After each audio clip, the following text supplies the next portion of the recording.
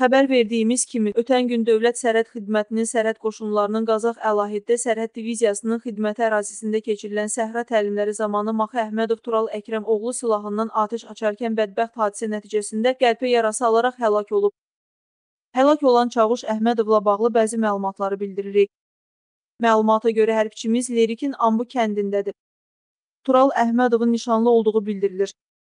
Qeyd edək ki, hadisə ilə əlaqədar Dövlət Sərhəd Xidməti və Baş Prokurorluq tərəfindən birgə araşdırma tədbirləri həyata keçirilir.